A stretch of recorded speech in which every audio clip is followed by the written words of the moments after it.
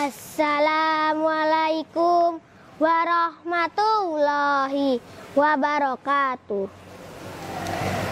Yang terhormat Dewan Juri dan hadirin yang berbahagia, Alhamdulillahirabbil alamin. Wassalatu wassalamu asrafil anbiya wal mursalin Nabi Muhammad wa ala alihi wa sahbihi ajmain. Faman tabi'ahu bi isani illa yaumiddin. Amma ba'du. Dewan Juri dan hadirin yang berbahagia, perkenalkan nama saya Abbas dari SD Islam Kreatif Mutiara Anak Soleh.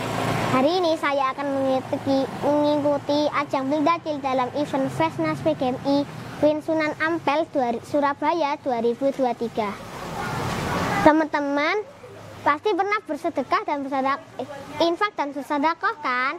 Tapi tapi teman-teman tahu tidak ya infak dan sedekah itu apa? Apakah mereka sama atau berbeda? Samanya di mana, bedanya di mana?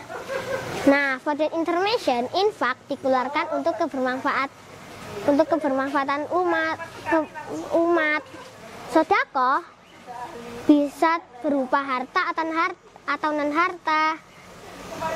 Infak sedekah bisa dalam berupa macam bentuk.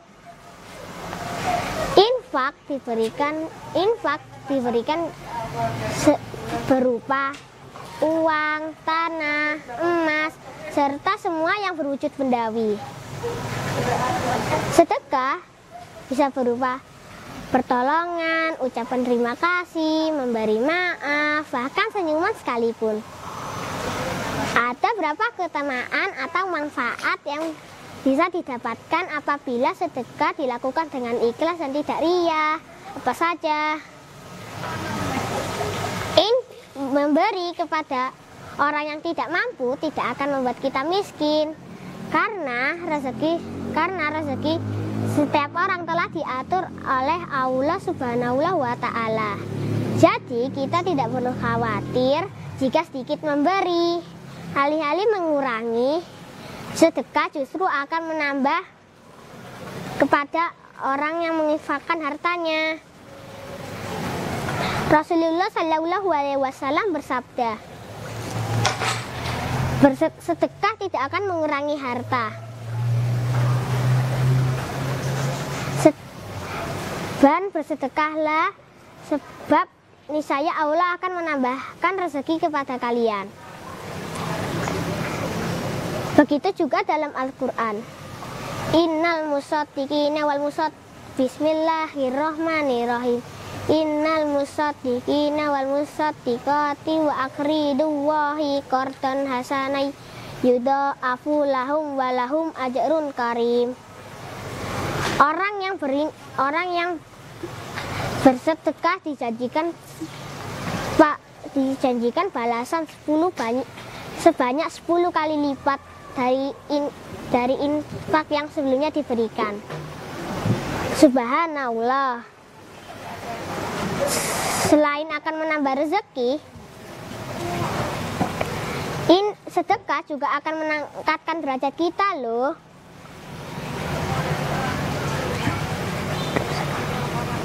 Barang siapa yang rajin bersedekah, maka Allah akan meningkatkan derajatnya dan memberi keberkahan rezekinya. Dari Abu Hurairah, Rasulullah Shallallahu Alaihi Wasallam bersabda, bersedekahlah kalian, sebab sedekah tidak akan mengurangi harta. Dan Allah akan meningkatkan derajatnya.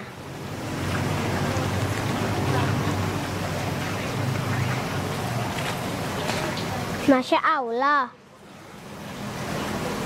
Masya Allah. Banyak sekali ya manfaat dari infak dan sedekah. Masih ada satu lagi teman-teman, yaitu didoakan oleh malaikat. Nabi Nabi Muhammad Shallallahu Alaihi Wasallam bersabda, orang-orang pada yang orang-orang pada di, berada di waktu pagi ada dua malaikat yang turun padanya. Dan malaikat pertama berkata, Ya Allah berikanlah harta pada orang yang menginfakkan hartanya. Malaikat kedua berkata, Ya Allah binasakanlah orang-orang yang fakir. Para hadirin semua, dari tiga manfaat itu kita harus sadar bahwa infak tidak membawa kemudaratan dalam hidup, tapi justru menguntungkan. Sebelum kita menutup pembahasan ini, izinkan saya menyanyi secuil ya. Alangkah indah orang bersedekah dekat dengan Allah, dekat dengan surga, takkan berkurang harta yang sedekah, akan bertambah, akan bertambah. Kalau ada keran di taman, boleh menumpang mencuci kaki. Kalau ada nih kesempatan lagi, kita boleh berjumpa lagi. Was Wassalamualaikum warahmatullahi wabarakatuh.